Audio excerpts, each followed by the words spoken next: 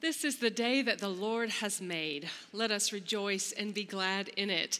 It is a wonderful day to be together in this time of worship, and it's my joy to welcome you into this space. If you're worshiping here in the sanctuary or over live stream, if you're joining us that way, we are glad uh, that you are present in worship.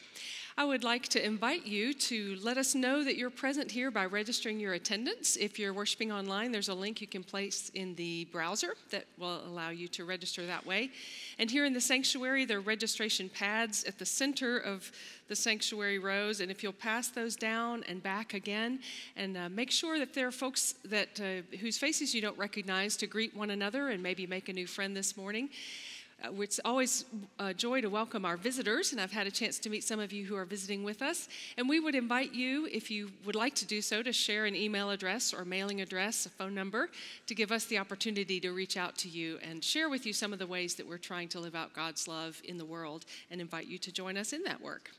If you're a college student, we hope you'll come back at noon uh, to join in our college lunch. We have it every Sunday at noon um, during the school year, and they'll be gathering in the narthex. So if you're here in worship this morning and don't mind coming back, uh, you'll get a free lunch. We have uh, the season of Lent beginning this week. And as part of our tradition, we gather on Tuesday, Shrove Tuesday, the night before Lent begins, for pancake supper and for jazz mass at 6:30. And we hope you'll come and join us for that. Then the next day is Ash Wednesday, and we will worship at noon and at 6:15. Same service format, so you don't have to come to both. Uh, just pick one of those services to come to and join us um, in beginning the season of Lent in the right spirit. There are more details about these events in your bulletin, so I'll draw your attention to those, including our concerts every Thursday at noon during Lent. And our bulletin will tell you each week who will be performing that Thursday, and you're welcome to come and join us for lunch and for a concert. Finally, next Sunday, uh, we are having a gathering of folks who are reading through the Bible together this year. We are doing that together as a congregation, and uh, this morning we find ourselves at the end of the Torah in the book of Deuteronomy. But we want you to come and join us. Even if you're not reading through the Bible and want to come and participate, you are more than welcome. That is next Sunday evening from 5 to 7. We ask that you RSVP, the information's in the bulletin, and we're going to try a good old fashioned potluck. So we hope you'll join us for that as well. This morning, as we open the book of Deuteronomy, we hear the great commandment to love God with our whole heart, with our soul, and with our strength. So may our worship today be one way that we express that love for God.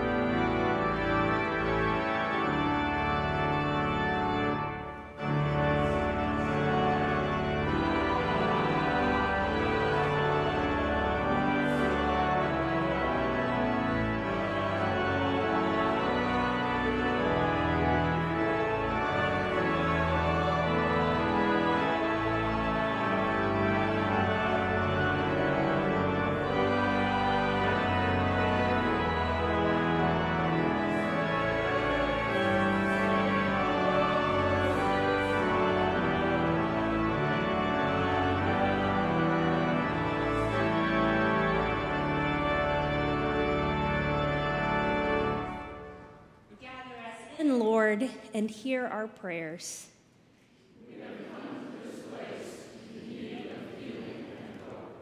Gather us in, Lord, and heal our spirits. Gather us in, Lord, and open our hearts to receive your word.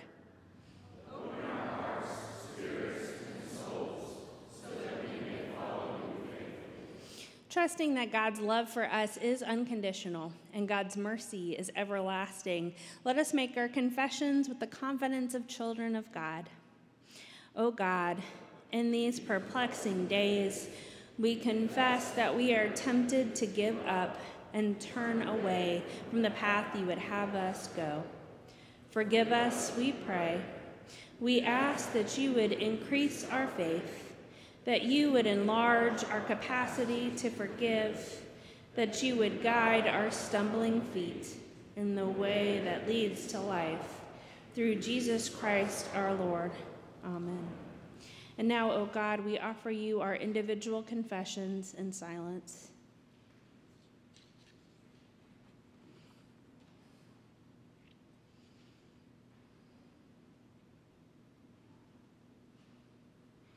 Hear the good news Christ died for us while we were still sinners.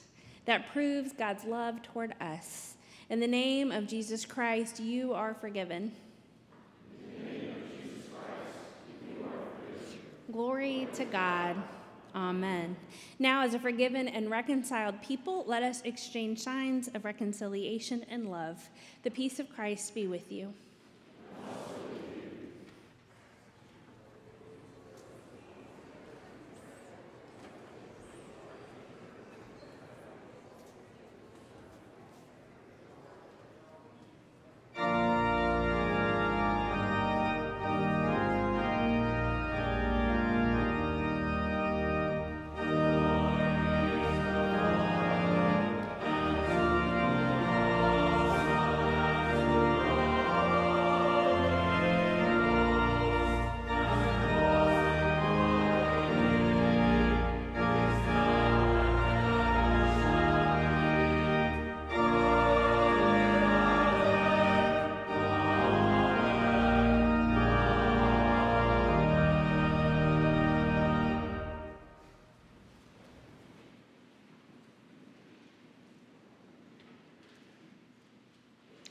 Let us pray together the prayer for illumination. Lord, open our hearts and minds by the power of your Holy Spirit, that as the scriptures are read and the word proclaimed, we may hear with joy what you say to us today. Amen. A lesson from the Old Testament Deuteronomy 6 4 to 12 and 20 to 25. Hear, O Israel, the Lord is our God, the Lord alone. You shall love the Lord your God with all your heart and with all your soul and with all your might. Keep these words that I'm commanding you today in your heart. Recite them to your children and talk about them when you are at home and when you're away, when you lie down and when you rise. Bind them as a sign on your hand, fix them as an emblem on your forehead, and write them on the doorposts of your house and on your gates. When the Lord your God has brought you into the land that he swore to your ancestors, to Abraham, to Isaac, and to Jacob, to give to you, a land with fine, large cities that you did not build, houses filled with all sorts of goods that you did not fill, hewn cisterns that you did not hew, vineyards and olive groves that you did not plant. And when you have eaten your fill, take care that you do not forget the Lord, who brought you out of the land of Egypt, out of the house of slavery. When your children ask you in time to come, what is the meaning of the decrees and the statutes and the ordinances that the Lord our God has commanded you? Then you shall say to your children, We were Pharaoh's slaves in Egypt, but the Lord brought us out of Egypt with a mighty hand. The Lord displayed before our eyes great and awesome signs and wonders against Egypt, against Pharaoh and all his household. He brought us out from there in order to bring us in to give us the land that he promised on oath to our ancestors. Then the Lord commanded us to observe all these statutes, to the Lord, to fear the Lord our God for our lasting good, so as to keep us alive, as is now the case. If we diligently observe this entire commandment before the Lord our God as he has commanded us, we will be in the right. The word of God for the people of God. Thanks be to God. I'd like to spend a little time with our children this morning. So if you're here in the sanctuary and want to come forward and sit down with me, that would be great. And if you're worshiping online, just move a little closer to your screens and we'll have a few minutes together. Come on down. Glad to see everybody this morning. Good morning. A nice big group. I bet some of you have a holiday from school on Monday. So I'm glad you're here. Good morning. Well, Miss Mary just read for us a part of the Bible from a book that has a funny name. It's called the Book of Deuteronomy. Deuteronomy. It's kind of a long word, isn't it? And it's Moses talking to the people it's kind of his last chance to talk to them and tell them what's really, really important. And he says, There's something really, really important that I want you to remember. I want you never to forget. Love the Lord your God with all your heart, with all your soul, and with all your strength. And he says, Keep these words in your heart. So, one of the things that helps us keep words in our heart is to memorize them if we can memorize them, then we can say them whenever we want to, and they can remind us of what's important. So I want to work with you to help us all memorize these words, and then we'll talk about them for just a second. So, hand motions help me. So here we go. Love the Lord your God. That's the first part. Let's say it together. Love the Lord your God with all your heart, with all your heart and with all your soul, with all your soul, and with all your strength. With all your strength. So let's say it all together. Love the Lord your God with all your heart, with all your soul, and with all your strength. And we can say that and learn it and repeat it because it reminds us that the most important thing to God is love. God loves us unconditionally. We talk about that a lot. But it's also important to remember that we are supposed to love God back. So let's do everything we can to show our love for God with all our heart, with all our souls, and with all our strength. Let's pray together. God of love, we thank you so much for loving us. You love us no matter what. You always have and you always will. Help us to love you back. Help us to put you first. Help us to do everything we can in our lives to show our love for you and our love for everyone. In Jesus' name we pray. Amen. All right, thank you all so much for listening. And if you're three, four, or five, you can go to Children's Church with Pastor Chris and Pastor Maggie, and the rest of you can return to your seats with family.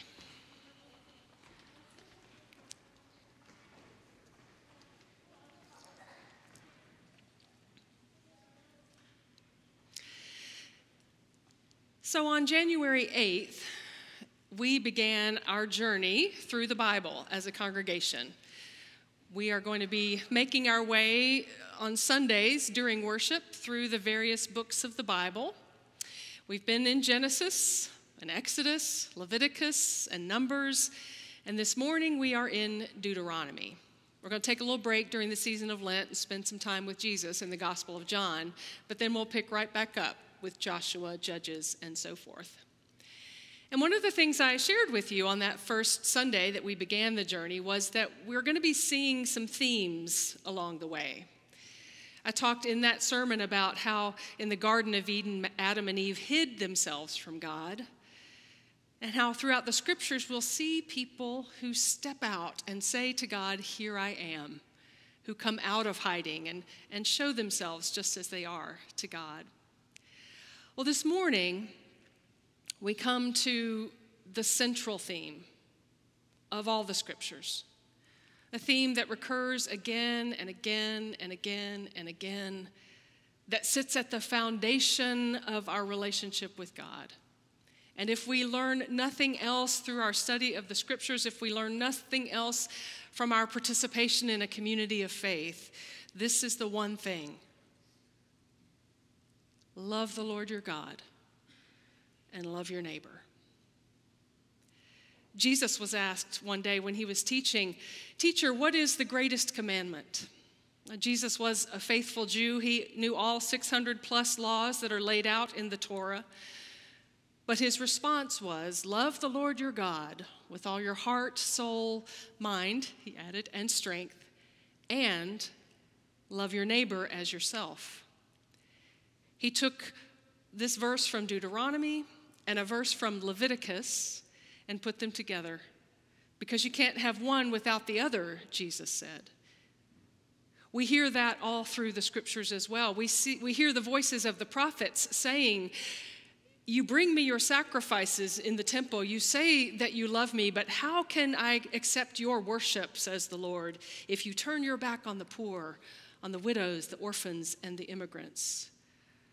Love of God connected with love of neighbor. And then we hear it all the way almost to the end of the scriptures in the letter of First John when he says, God is love. But how can you say you love God whom you have not seen if you do not love your neighbor whom you have seen? So, again and again, we're going to be seeing this theme of loving God and loving neighbor. The founder of the Methodist movement, John Wesley, said, This is what salvation is a journey of growing ever deeper in love with God and love of neighbor until we reach that point when we are perfect in love, when our love is complete, where no one is left out. Now, I don't know if anyone ever reaches that point of perfection, maybe momentarily, but we're all reaching for it. We're all on a journey toward it. And so, these verses we've heard from Deuteronomy are one of the anchor pieces of our faith. So, what's going on in Deuteronomy? Who says these words and, and who's he talking to and why? Well, Deuteronomy is structured as if it is Moses' final speech to the people. They are just about ready to cross into the promised land. This is the second generation of Israelites. If you remember, the first generation proved themselves too scared to enter the promised land. So they had to wander in the wilderness for 40 years, and now this next generation is about to step into it. But Moses cannot go with them.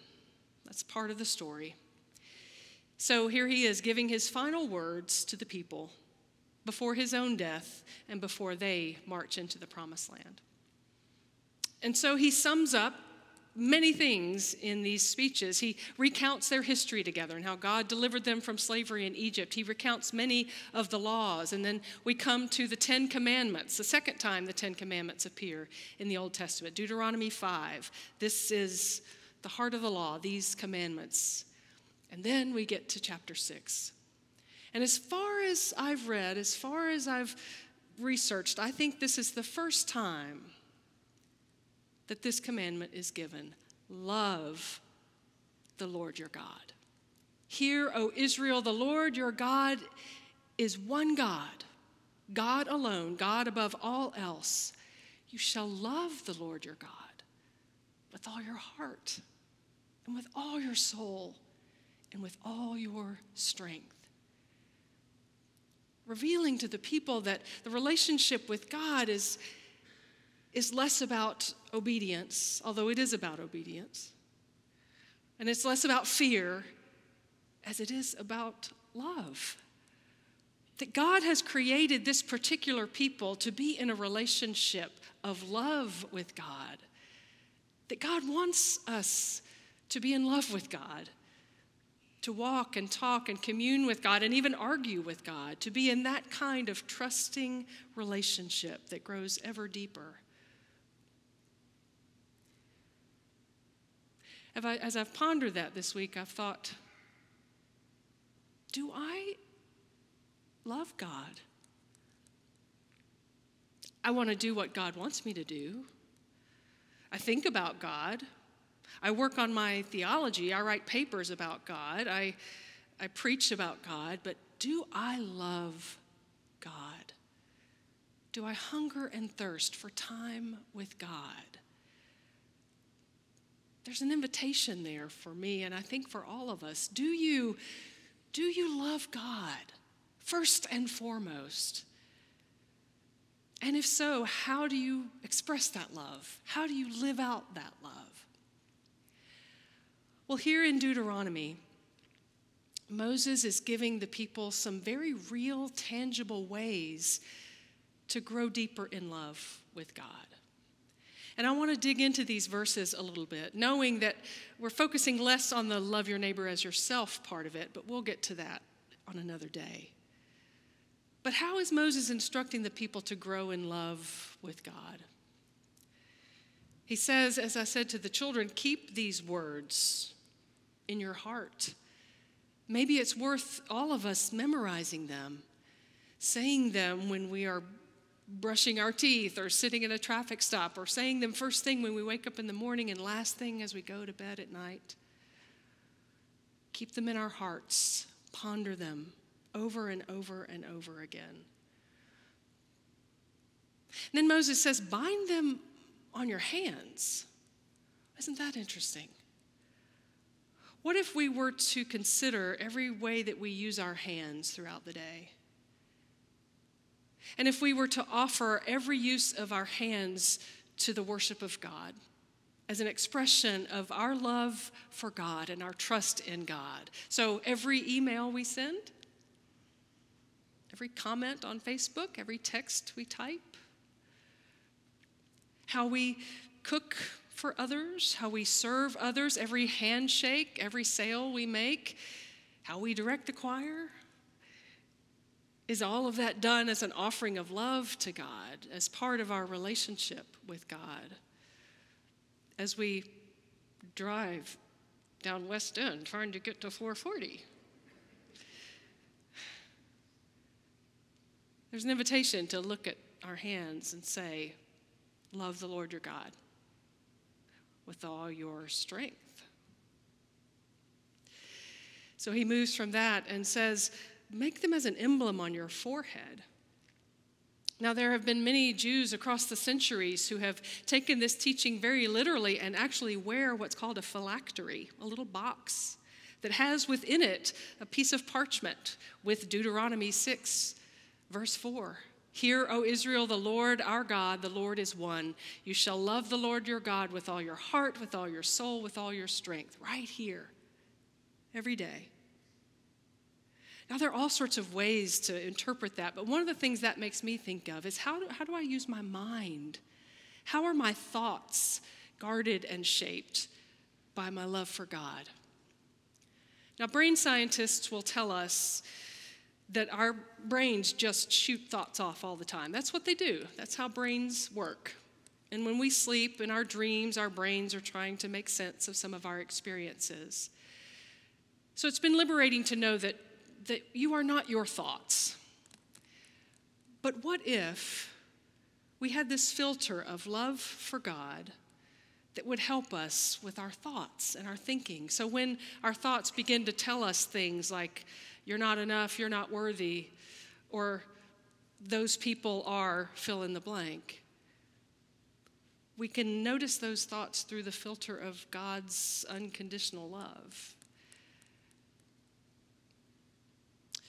Write them on your hands, have them as an emblem on your forehead, post them on your doorposts. Again, many of our Jewish friends have this practice. Have any of you ever seen a mezuzah?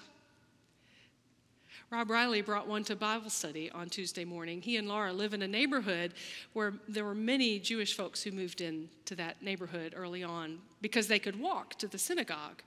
Because driving in their theology is work. And so to live close enough to the synagogue to walk. And Rob found on the lintel of one of the doors a mezuzah, which is a little box about this big, and in it is the parchment written in Hebrew with Deuteronomy 6 4. And to me, that's a reminder that whether you're going out or coming in, and these threshold places in our lives, our lives are grounded in love of God and love of neighbor. A reminder as I'm going out into the world that I'm going out in the name and in the spirit of God's love. And as I'm coming home to be with whoever's in my home, whether it's myself, my family, this is a home dedicated to the love of God and growing in deeper love with God. Which brings me to the last instruction that Moses gives as part of this. And he says it again and again throughout these verses teach these words to your children, pass them down to the next generation. And of course, that is a word for those of us who are parents.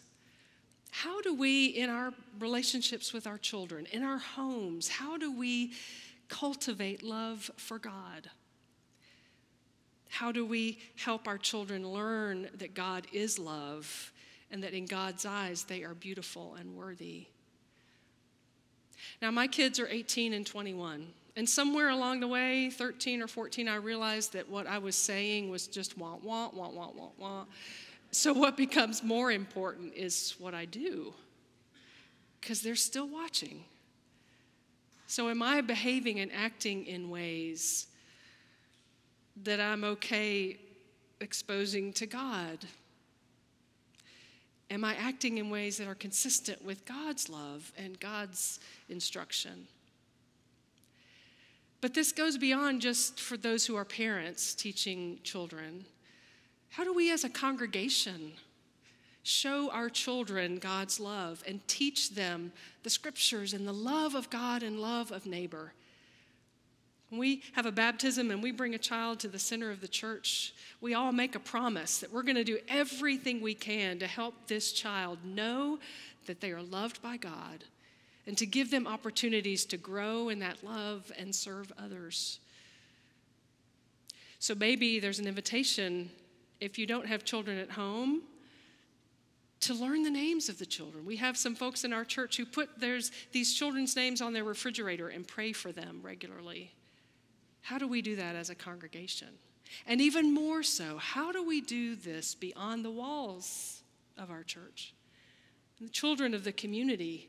What are we doing as a church to, to help the children in our community, especially the ones who are forgotten? the ones caught up in our foster system, the ones who have no one at home. How do we help raise them up in the love of God? These are huge questions, worth asking, but not enough time to explore them in this moment. But here we have these words of Moses saying that when it comes down to it, it's all about love. On Wednesday night, I went to a Bible study at First United Methodist Church in Lebanon. It was hosted by our bishop, it was a district Bible study.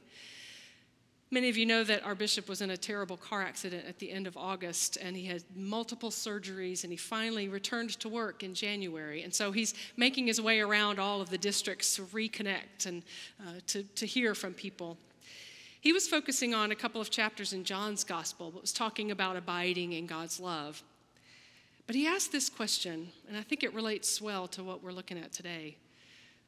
Think in your mind of someone who you see as a mature Christian or someone with spiritual maturity. Is it because they know Scripture really well? Is it because they have good and appropriate theology? Is it because they're in church every Sunday? Is it because of. No, it's none of those things. What it comes down to is this person loves well. Moses said it, the prophet said it, Jesus said it. Jesus' followers have continued to say it, and may we continue to live it. Love. That's what it's all about.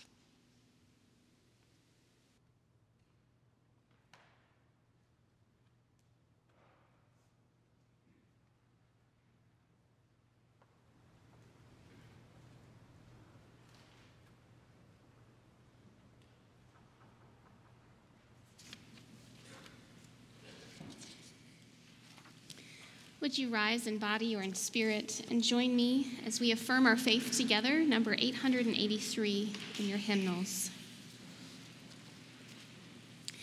We are not alone. We live in God's world.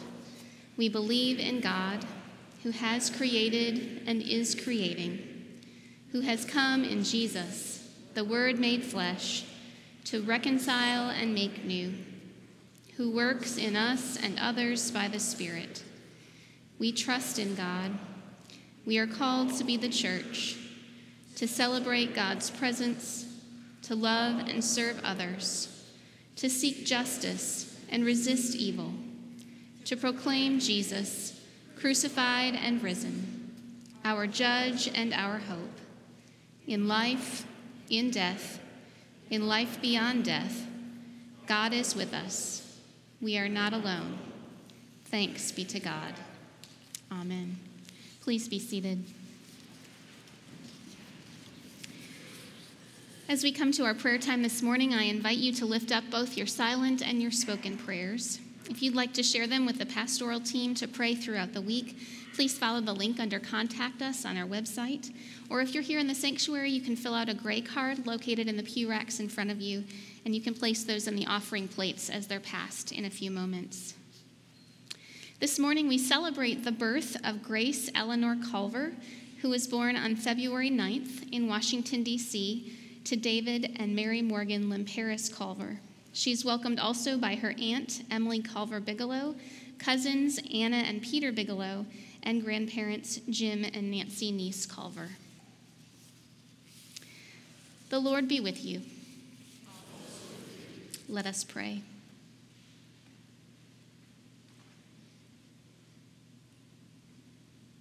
Steadfast and loving God, we praise you this morning for your faithfulness in all generations.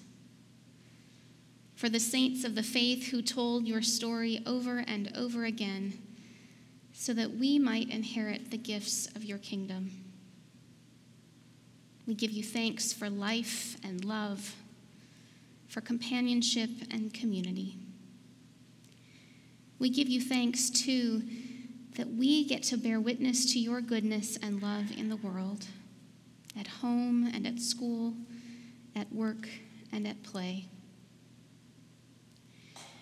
We pray this day for those who are ill in body, mind, or spirit, and we ask that you would grant them healing. We lift up to you those who are grieving. We lift up those who are anxious about the future. Comfort them, O God, and give them your peace. We pray for those who struggle with their faith, for those who doubt, and for those who have forgotten your story and their place in it. Grant them your grace and the assurance that despite their struggle, your love is unconditional and unfading. We pray for those whose lives are at risk this day, for those who do not have enough to eat or do not have adequate shelter, for those whose homes are places of violence rather than safety we continue to remember the people of Turkey and Syria whose lives and livelihoods have been destroyed by the earthquake there. God of grace, grant to each of these your provision for each day, and empower all of us to work for the flourishing of all people. O God, may your word be ever before us and always within our hearts. Help us to love you as deeply and as faithfully as you have loved us. And help us to share your love wherever we may go. We ask all of this in the name of Jesus, the one who loved us and who taught us to pray. Our Father, who art in heaven, hallowed be thy name. Thy kingdom come, thy will be done on earth as it is in heaven. Give us this day our daily bread, and forgive us our trespasses, as we forgive those who trespass against us. And lead us not into temptation, but deliver us from evil. For thine is the kingdom, the power, and the glory forever. Amen. Let us now gather our gifts together and offer them to God in gratitude and in praise. Those of you joining us online are invited to give via the options listed on the screen or in the chat. And here in the sanctuary, we'll pass the offering plates down the pews. May we give with joy this morning to the God who has been so generous with us.